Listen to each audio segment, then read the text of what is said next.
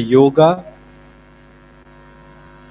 Before even getting into yoga, I was speaking about the uh, physical anatomy and the psychological anatomy, the psycho, the psychological part of it, and psychometry and the psychiatry point of view, the human's coexistence.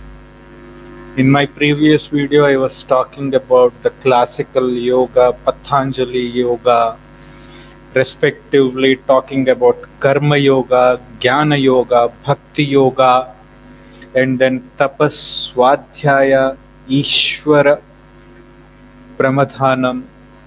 Now, let's try getting into the advanced stage where today the modern uh, medical sciences have been talking about which is uh, more or less uh, which more or less talks about the human psyche or the human psychology or the psychometry or the psychiatry part of it. Respectively if we see there are three domains of the human being. If we clearly look at Karma Yoga has direct relation to tapas.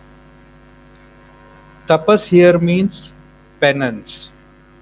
Penance means concentrating on something and trying to develop that kind of attitude which in further leads to the psychomotor domain which exists in the human consciousness at a subconscious level which leads to the actions or the reactions or the situational uh, acts that happen.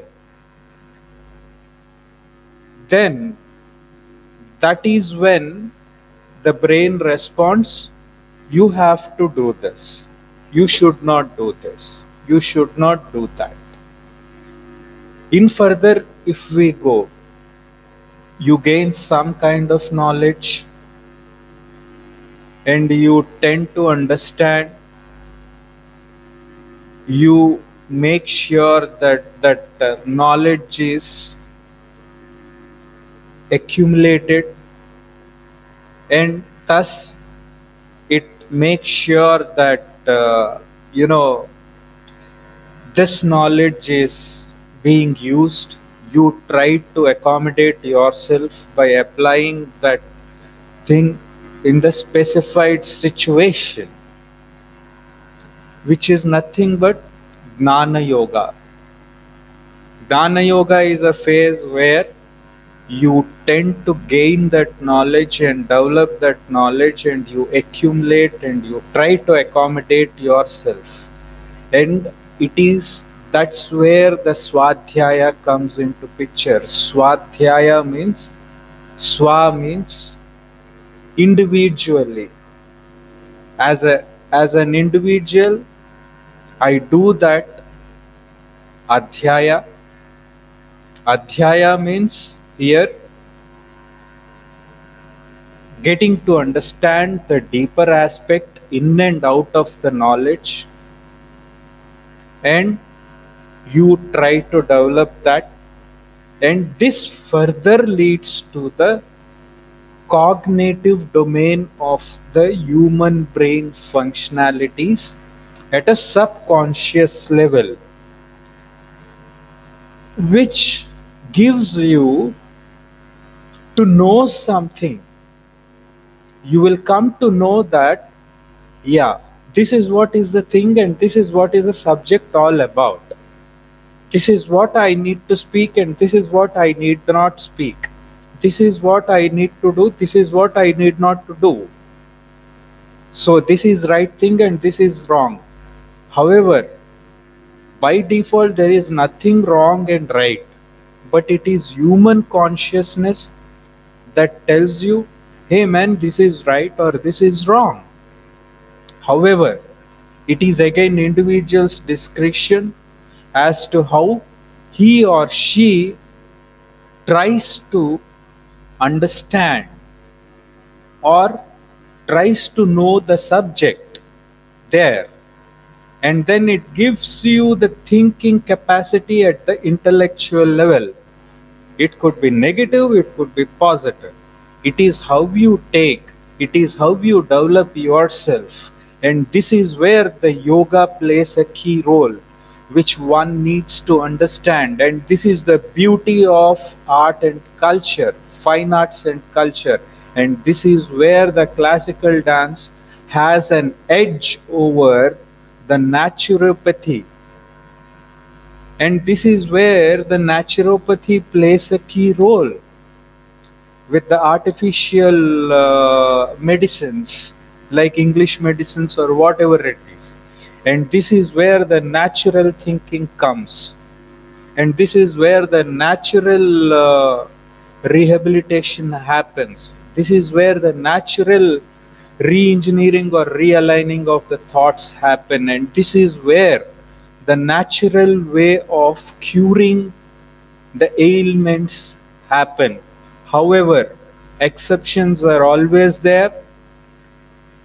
As a part of note and disclaimer if it is major like cancerous treatment or the tumor related or the stones related or any kind of major at an advanced stage please do not go with the natural way of doing things.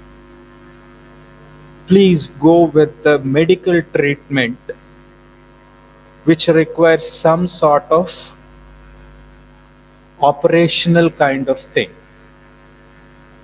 As a part of note and disclaimer however when it comes to like uh, bipolar disorder or uh, you know lack of uh, the lack of understanding or laziness etc etc a small small small small primary or pre uh, primordial uh, you know which can be cured with the natural kind of things please do go with the natural but advanced please go with the medical treatment so this is what happens at a cognitive level that cognition of the mind goes off.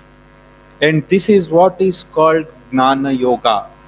Gnana Yoga is nothing but understanding the subject and trying to do that. For a yoga practitioner, before getting into the Ashtanga Yoga, one needs to understand what is Gnana Yoga and Karma Yoga. That's when he can get to understand practicing of Ashtanga Yoga or practicing when he or she meditates, that meditation, why he, he or she is using, needs to be understood over here as such. And then comes Bhakti Yoga. Bhakti here means it's not going to temples or it's not going uh, performing rituals or it's not performing yajnas or homas or it is not like uh, you know doing social service or whatever it is bhakti should come from the bottom it has to be guileless it has to have that guilelessness element. When I say guilelessness element, one needs to have the understanding that utmost commitment. You should not be expecting anything out of it. The point is, today bhakti means most of us think going to temple and uh, you know doing namaskara and doing pujas or performing and giving away whatever that we have etc etc that's not the true bhakti. Bhakti means over here understanding yourself first and then when you understand yourself what is it that you can give back what is it that you have understood? One should not keep anything for himself or herself be it anything. Unfortunately today we are missing on that. That is where ishvara pravidhanam comes into picture. Ishvara tattva. Ishvara tattva is again has 34 tattvas Though to understand 34 tattvas, one needs to have a broader and vivid understanding. That's when the yoga comes into completeness. It is not practicing of asanas or it is not practicing of meditation. Mere practicing of asanas, meditation, pranayama does not help you. One needs to understand the bhakti tattva, in the deeper aspect and in the in-depth aspect. This goes to the this leads to the affective domain in the human brain or human consciousness at a subconscious level which gives you that kind of feeling wherein which is which is what is called ananda state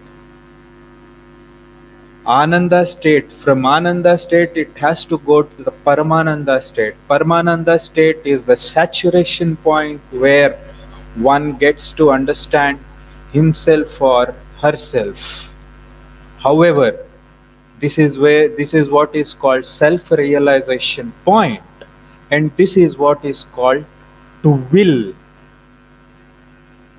Will to understand and will to get to that point is what happens. And this is what is the proper structure and the proper schematic way of performing yoga or understanding yoga or the understanding of the meditation. However this all whole of this process whatever that i have been speaking happens in the classical dance form, be it Bharatnatyam, be it Kuchipudi, be it Mohiniyattam, be it anything, in the form of dance, one does that. However, if you are not a classical dance or a prof- classical dancer or a professional dancer also, as a non-professional dancer also, you go out, uh, go with this raw kind of thing practicing all of this. As a dancer, the only one edge that one gets is he tends he or she tends to get into that enactment and thus he or she gets into that mindset and thus presents himself or herself and give that message to the society as a resultant Thus, I conclude this video with a positive note and the pointers for, from this video for the individuals who are watching are to understand the domains of the human being or the human consciousness consciousness at a subconscious level in contrast to the karma yoga jnana yoga and bhakti yoga. And which in further gives the meaning of tapas, swadhyaya and Ishwara pravidhanam. However, this will be dealt in my next videos in detail. I will be explaining the same. Thus, I conclude this Let me get or rather go much further as I was speaking in my previous videos about the brain and the layers respectively which are which wherein I was speaking about the spiritual layer and spiritual layer and the primary layer.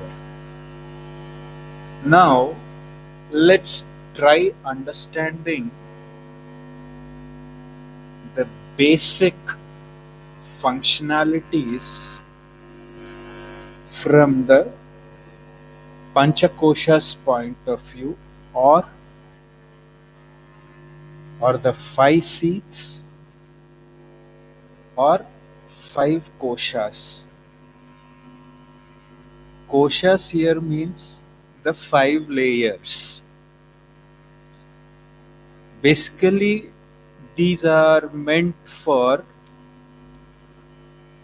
when a human being exists or its existence comes to the earth. They come by default. However, one needs to have the understanding of what these five seats or the five koshas or the five layers. It would be really helpful for a dancer or aspiring dancer or the singer, someone who wants to pursue classical dance as a major career and how he or she can take it to the level of therapeutic point of view. This would be really helpful and this video really gives the brief glimpse of proper understanding of the layers or the systematic approach or the schematic approach. What really happens and what is the structure that uh, a human being or the individual follows. And the few pointers from this video would be understanding about the five seats or the five layers or the five koshas or the పంచకోశాస్ ఈ యొక్క వీడియోలో మనం పంచకోశాల గురించి తెలుసుకుందాం ఇప్పటిదాకా మెదడు ఎలాగుంటుంది మెదడులో ఏముంటాయి ఏంటేంటి అవుతుంది ఆ ప్రక్రియ ఏంటి? ఇవన్నీ తెలుసుకున్నాం మనం. దీంట్లో మనకి ప్రప్రథమంగా చెప్పాలి అంటే మనం తినే తిండి మళ్ళీ ఇంకా చెప్పాలి అంటే శ్వాస ఆ శక్తి మళ్ళీ మస్తిష్కంలోని ఆలోచించే విధానం. దాన్నే మనం ఇంటలెక్ట్ కూడా అంటాం. అది ఎలాగ డెవలప్ చేసుకుంటాం పాజిటివ్గా. ఇంకోటి ఆ పరమానందం ఎలాగ? ఏంటి? పరమానందం point. If we really see the kind of food food food intake breath the kind of energy that we are getting out of or uh, you know whatever by default or the mind developing of mind understanding of it then it more or less talks about the intellectual level the intellectual levels of the mind or the thought the intellectual thought how we can develop. And then it more or less talks about the bliss which is the supreme state the highest level of state which anyone can attain and this is what is called Paramananda or Ananda state. Now let's try to understand. Basically, we have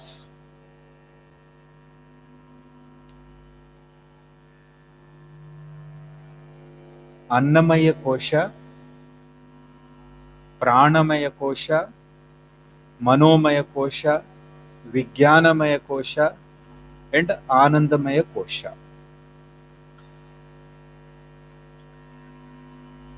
అన్నమయ కోశ అన్నమయ కోశ is sustained by food అన్న అన్న means food అన్నమయ కోశ గురించి మాట్లాడితే మనం అది మనం తినే తిండి తిండి పదార్థాలు దీని నుంచి వస్తుంది. అది మొదటిది. రెండోది ప్రాణమయ కోశ ప్రాణం అంటేనే మనకి ఆ శ్వాస ఉంటేనే ప్రాణం ఉంటుంది కదా. అలాగే ఆ శక్తి ఉంటే ఆ శక్తి శ్వాస ఉంటేనే ప్రాణం ఉంటుంది. అందుకు అది ప్రాణమయ కోశ అది రెండోది. అలాగే మనోమయ కోశ అది బుద్ధి. మనం అది బుద్ధిని కంట్రోల్ చేస్తుంది. మనం అర్థం చేసుకోవాల్సింది ఏంటంటే ఇక్కడ ఆ బుద్ధిని మనం ఎలా వాడుతున్నాము అనేది. అలాగే విజ్ఞానమయ కోశ. విజ్ఞానమయ కోశ అనగానే మనకి ఆ జ్ఞానం వచ్చిన జ్ఞానం ఎలాగ వాడుతున్నాం ఏంటి చేస్తున్నాం. అలాగే ఆనందమయ కోశ. ఇప్పుడు మనం అన్నమయ కోశ ప్రాణమయ కోశ మనోమయ కోశ విజ్ఞానమయ కోశ నుంచి వచ్చే మనం. ఈ నాలుగు కలిపితే అది ఆనందమయ కోశ. ఇప్పుడు ఒక మస్తిష్కం కానీ ఒక బుర్ర కానీ ఫంక్షన్ ఫంక్షనాలిటీస్ గురించి నేను కిందటి వీడియోలో మాట్లాడాను. ఇప్పుడు మాట్లాడుతున్నది అసలు ఈ పంచకోశాల్లో ఏమున్నాయి ఏంటి అనేది మాట్లాడాను as I am speaking, as I spoke in my previous video about the mind and its functionalities or brain or its functionalities, right? Now, if we see Annamaya Kosha, it is sustained by food intake actually. When I say food intake, what kind of food are we taking? Is it something which is helping your body to go have that strength? Or are we taking right kind of food? One needs to really be careful when we try to take food. It's not that you take any kind of food. That's when our uh, our mind will get thoughts both right and left brain will get thoughts. If you are taking a very good food, hygienic food, and taking a positive food which is not creating any sort of harm to the body, mind will be pure and at its parity level. At Pranamaya Kosha, it is sustained by breath and energies. What is a kind of breath that we are taking? Or what is a kind of energy that we are imbibing or taking that? one needs to be conscious about this. Strictly, one needs to have that positive energy and that, you know, when we are taking, a breathing air, that has to be like in a positive environment. One needs to really understand to the core as to why this concept has been introduced or why this layer. This is where once we have this positive energy and that uh, positive air coming into your body, that's when your mind stays calm with pure and parity. ఎప్పుడైతే మనం ఆ శ్వాస కానీ ఆ శక్తి కానీ ఒక positive లెవెల్లోని ఒక positive అట్మాస్ఫియర్లో కానీ ఉంటే అది ఒక దేహాన్ని కానీ దేహాన్ని ఒక పాజిటివ్ లెవెల్ తీసుకొస్తుంది. మనోమయ కోశ. It is sustained by mind once we take right kind of food.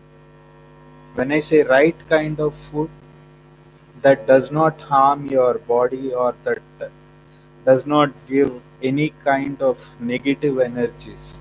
Normally, what happens is we tend to take any kind of food. Food is all about like taking sattvic food Satvika food over here means something by uh, which satvika food is something wherein it's like not harming anyone as such. When i say not harming anyone see most of us today are taking non-veg non-vegetarian that doesn't mean I'm trying to pinpoint non-vegetarian eating uh, people. It is their uh, choice, but eating too much non-veg is also not good because when we eat non-veg, non-vegetarian, we are killing the animals,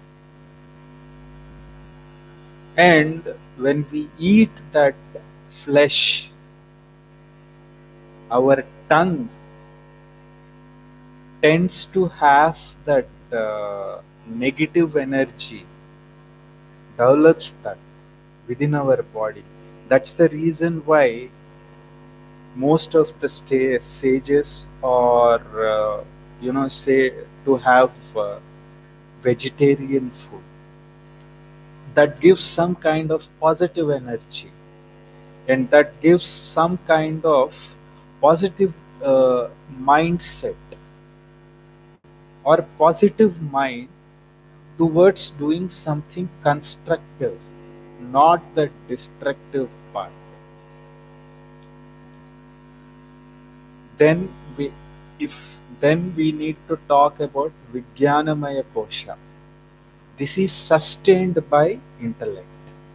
This intellect is at a highest level one needs to get to understand or needs to reach to that highest level. Think about that.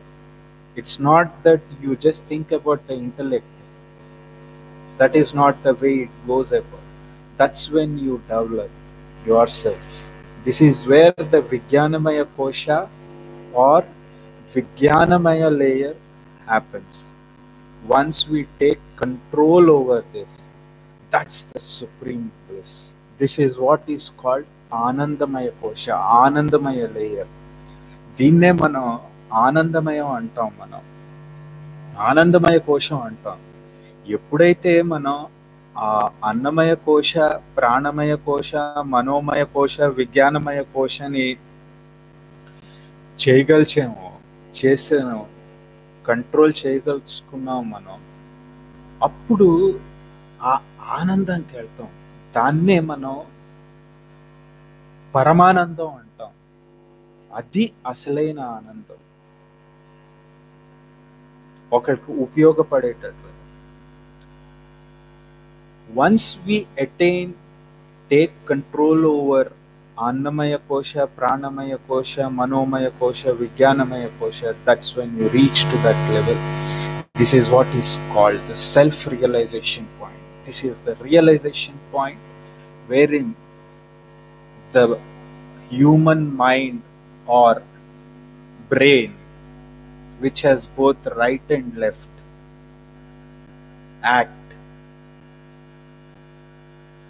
in a systematic way and schematic way and has certain positive vibration takes. Thus, like this video would be useful information for individual who is pursuing fine arts and culture from the scientific point of view towards the betterment of the individual as a whole and helping others. And the primary reason for Natya Shastra to be worked as doctrine is also the same reason. Now, let's try understanding the typical nature of the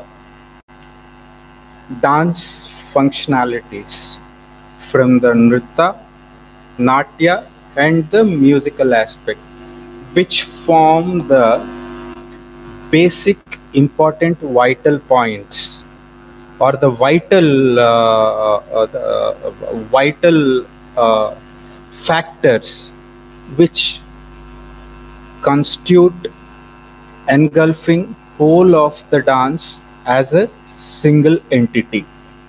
When we talk about the study of technical aspect which is nothing but nritta in terms of natya shastra which is nothing but study of the dance movements.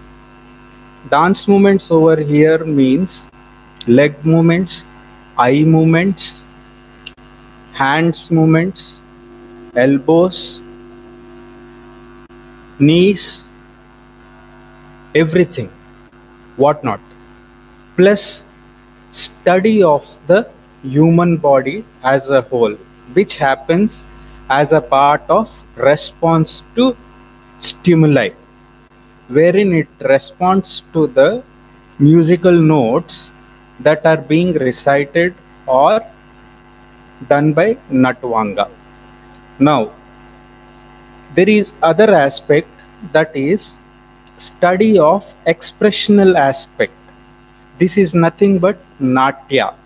Natya is nothing but enacting the character or empathizing the character or getting into the character and presenting that aspect as a whole and showing the basic moral or the basic story which which will be seen by the audience who get that positive energy. This is nothing but study of emotions of the personalities as i said here personality could be mythology or individual himself or enacting any of the character like brahma vishnu mahesha or x some xyz plus study of effective performance of the stories or the theme. Stories and the themes have that practical importance over here. That is the reason why story or theme has to have that strong or strength in it to give that uh, basic uh, material or the moral the brief moral which gets into the minds of the audience which an audience could visualize it at the same time dancer also visualizes it and he first he or she first feels the same and then expresses that outside as a part of result and thus the audience get that uh, brief gist of it. Now now when we talk about study of the music aspect the music aspect again has its own importance here the music aspect has to be soothing it could be soothing it could be high note it could be lower note it could be anything like that however it again is study of vocal lyrical musical and instrumental music this is what is called Geetam and Vadyam. And this is where the practical importance happens. Now, again, this plus you, the uh, human su- uh, sub theories. This is what is called Tala Shastra and Swara Shastras. And here's the Swara Shastras or Tala Shastras have certain amount of magnitude, certain amount of measurements, due to which which will actually like help uh, an audience or which will help uh, uh, an individual to you know get into the subject.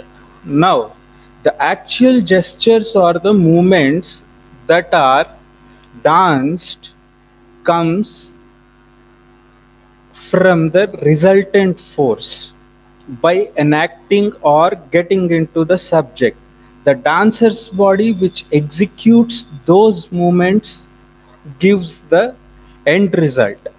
This is where the action and reaction takes place. Typically when we do all of this our body is the our body has around 100 trillion 100 trillion living cells or atoms. It has its own lives and it responds to stimulus actually. Because the moment we are doing certain actions our cells respond to it. And the kind of reaction starts happening within our body. At a wattage of 1.4 watts into 70 trillion cells. Now and on contrary this controls the uh, happenings with the mind heart and veins. And this listens to all kinds of all kinds of you know visual aids visual aids here means the dance teacher singing the song musical notes coming out of the natvanga or the the instruments that are being played. So that is one reason why dance and music is considered to be basically a therapy practice. And that is one reason why today medical science is concentrating on this the kind of reactions that happen the kind of reactions or actions happen due to the inter uh, due to the intervention of the music and the dance movements or the leg movements. Thus today in this video the take uh, takeaway or the pointers talking about uh, upanishad in cross reference to upanishad and other things right? In this video let me take it take the subject to the next level which talks about two different srishtis respectively. With with reference to the nama and rupa. Nama here means you as an individual.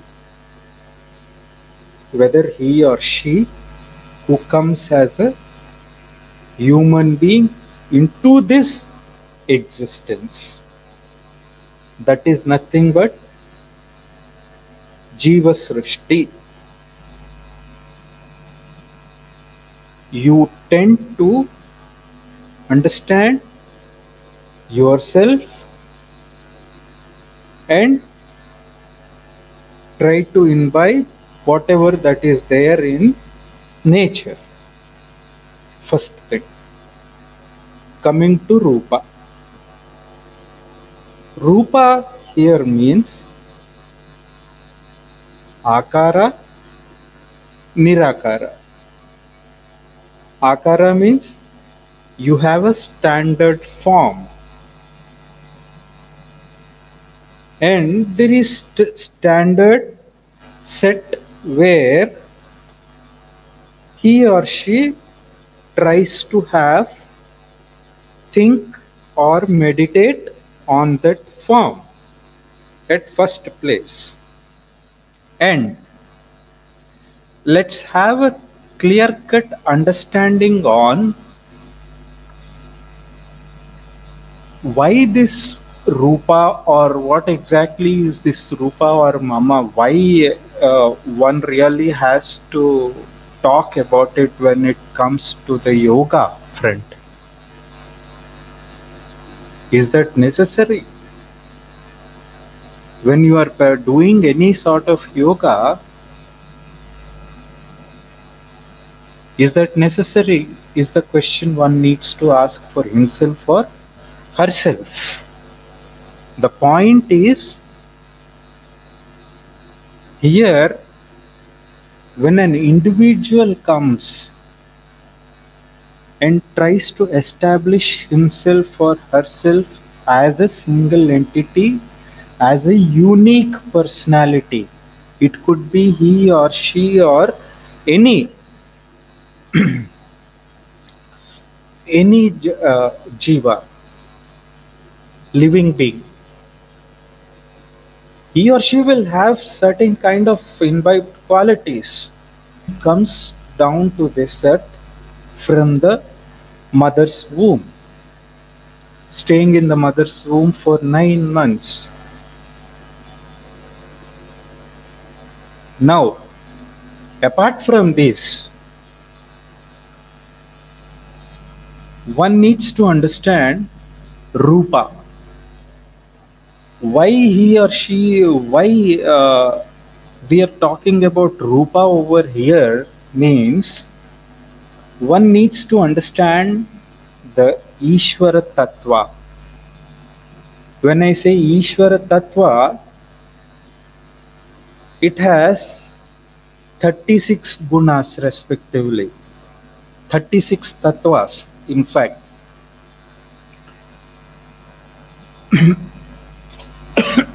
Sorry. In fact, it, has 36 tattvas. It could be he or she. And we need to work within those boundaries. Unfortunately, today we are forgetting about those 36 tattvas as a whole and we are practicing yoga and we have yoga practice uh, practitioners we have, we have meditation practitioners but the foundation for this is understanding the Isvara Srishti and Jiva Srishti, which are indirectly related to Nama and Rupa. Rupa from the Akara, Akara Swarupa and Nirakara Swarupa. When I say, when I talk about Akara Swarupa, it has certain forms. Certain form. You tend to believe that you have certain form and you create that image and you start meditating on that. Nirakara Swarupa is again, you concentrate on one point Meaning here you engulf Maya and Mahamaya. And this is where the factor, key factor of the yoga happens. This is what is the key pointers for the yoga practitioners to understand in depth. And this is where Patanjali wanted to actually like talk about unfortunately today we are missing on this. And this is the concept of classical dance as a single entity. People may say it is for the entertainment purpose but a classical dance has maya and mahamaya imbibed in that which one needs to understand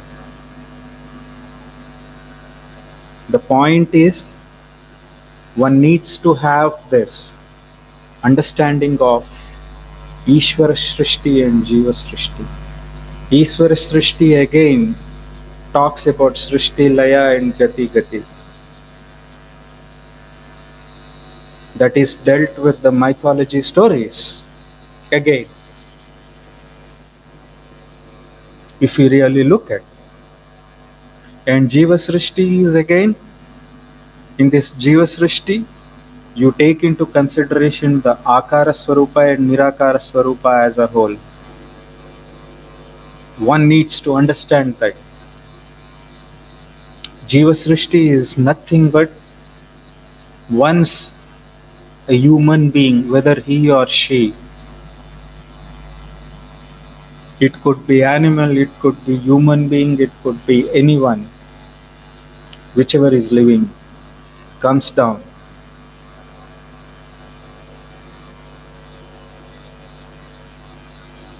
it has its own width. However, karma also plays a key role. That's a different aspect. I do not want to get into that. But let's stipulate ourselves with Ishvara Srishti. Ishvara Srishti is all about 36 tattvas which one needs to know. If one understands this 31 is beyond, uh, uh, one is in between the boundaries of 36 tattvas, there will not be any kind of reactions. But once this Jiva Srishti tries to take that definition of freedom to the next level, that's when the repercussions happen. One needs to understand Ishvara Srishti and Jiva Srishti in depth and the deeper aspect of it. Though unfortunately, we have dancers, we have gurus, we have teachers, but none of us are really interested to understand what really is this Ishvara Srishti and Jiva Srishti all about and why they why we need to understand 36 tattvas before getting into Jiva Srishti. Jiva Srishti is again related to Maya and Mahamaya. What is this Maya? What is this Mahamaya? However, this has twofold nature, a double personality, a character that distinguishes oneself by means of the relationship to Ishvara and your relationship to this earthly life. Why should he be, he be using this line? This has twofold nature, a double personality. A double personality. He is not talking about single personality. A character. Why he should uh, why should one be talking about character or personality over here? One needs to understand this is where the 36 tattvas play a key role, and this is where one should develop his or her character. Our human brain comes empty when he or she comes down to this earth, and that's when he develops that character and that, that itself distinguishes oneself. Meaning, the uniqueness lies within yourself. This is what is the meaning. Ladies and gentlemen, understand this to the deeper and wider aspect. It has a deeper meaning and in depth meaning. And it says distinguishes oneself by means of the relationship to Ishvara Tattva or the Ishvara's 36 Tattvas and your relationship to the earthly life. Why is he talking about earthly life over here? The earthly life is nothing but Srishti Laya Jati and Gati. That is birth living and death cycle. What you do in between is your choice. Understand this, ladies and gentlemen. This is the beauty of Vedas and Upanishads. If we are not able to understand this Iswara Srishti and Jiva Srishti, for a yoga practitioner, I think so. It's incomplete study of yoga. It's not about asanas. It's not about practicing pranayama. It's not about sabasana or anything like that. It's all about understanding the relationship of Ishvara and your relationship to the earthly life. Thus, the pointers from this video to the individuals, aspiring dancers, scholars, medical practice, and your relationship to the earthly life.